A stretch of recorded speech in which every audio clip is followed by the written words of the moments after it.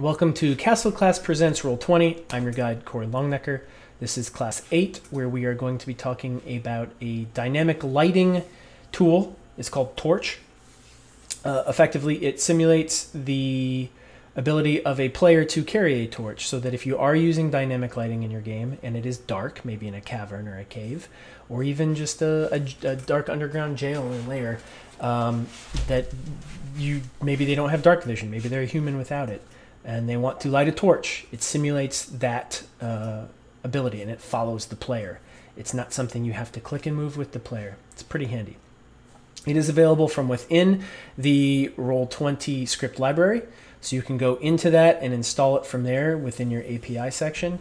Um, if you are new to us, this is maybe the first video you've seen. You might want to go back and look at our earlier videos where I explain how to add the um, APIs, how to install them. Uh, I go through that in detail there, so that might be something to look at. So when we jump in, I've already got the dynamic lighting set up. I've already got the API installed. I've already got the macros. There's going to be two of them. I'll put them in the description um, for torch on and torch off. Um, those are all set up. So again, if you need to see how to install a macro, earlier videos I go through it. Uh, dynamic lighting is something a little different. I have not gone into it in any detail whatsoever. I don't think I've even mentioned it until now. Um, there are a lot of good videos out there on dynamic lighting. I will provide a link to one that I think is really good. It's the one I followed when I first started doing it. Um, it's it's a it's a good description of of how to set up dynamic lighting and the benefits of it. So with that said, we're going to jump right in and just show you how this works, and we'll get to it. So let me move some things around here so you can see, and we'll launch our game, and we'll dive into the Torch uh, API because it's a cool one.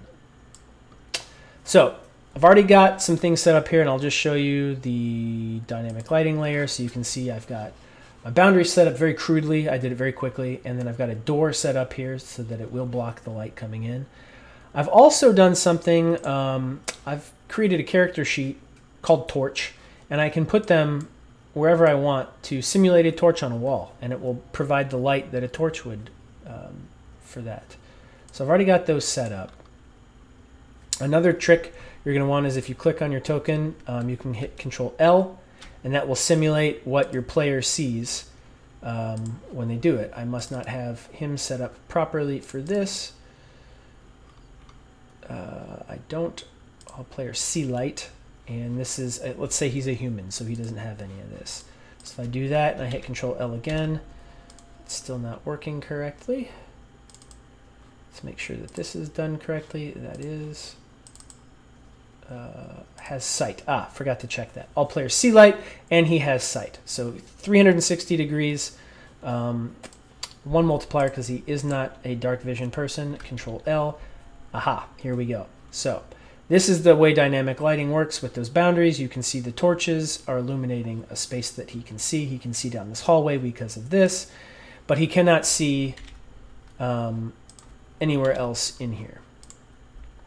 So um, if I move him over here and I do the same thing, Control L, he can see through this open doorway into this jail cell, and he's got these things set up that way. And as I move, you can see what his line of sight appears to be.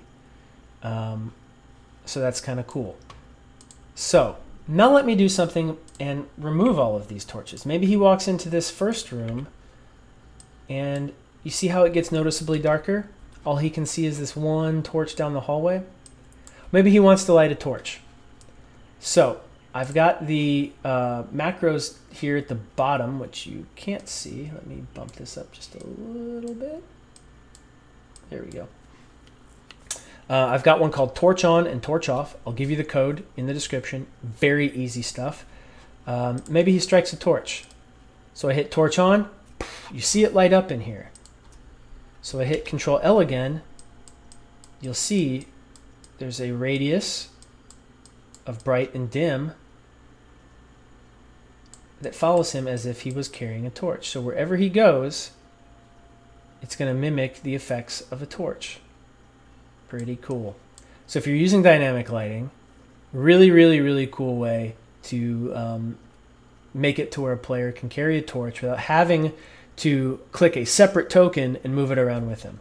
Uh, and when you're done, torch off, goes away, strikes another one, torch on. Um, it's, a it's a pretty cool function. I'll just go through and delete all these other ones just so you can really see uh, what it looks like and, and how it functions for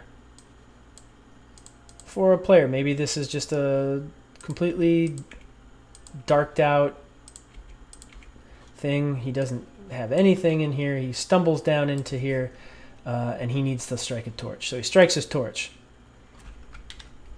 And now he walks around. So Karados is walking around. He comes down here, sees a gate, walks back up here, sees this hallway,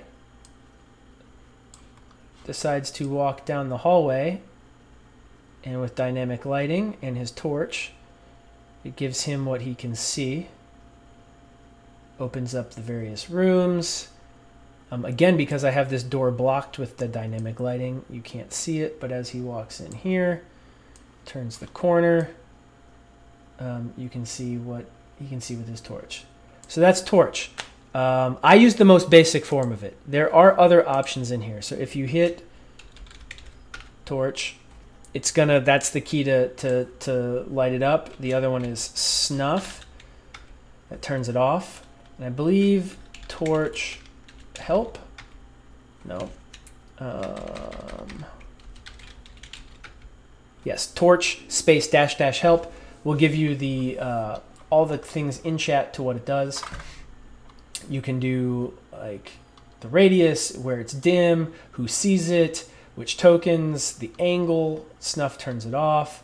Um, there's a flicker option, which I don't use, but it apparently uh, mimics the flicker of a torchlight to just add some some cool stuff to your to your game. Um, it's just a really neat uh, tool that if you're using dynamic lighting to to up your game. So I highly recommend using Torch if you're using dynamic lighting. Uh, it makes it a lot easier for your players to track who's doing what without having to have a separate token being dragged around. Macros will be in the description. Link to the dynamic video or dynamic lighting video will be in the description. Um, and yeah, really cool stuff. So next time, episode nine closing in on the end here. I think we're gonna we're gonna finish at ten. Episode nine, we're gonna be going into or class nine, we're gonna be going into token mod specifically for druids in wild shape, to where you can set up different character sheets, have them ready, and your druid can click a button, choose what they want to wild shape into, and it will change their token. Uh, change their hit points and and do all of those things there's a little bit of setup required but Really, really neat stuff. So until next time, thank you for tuning in and talk to you later.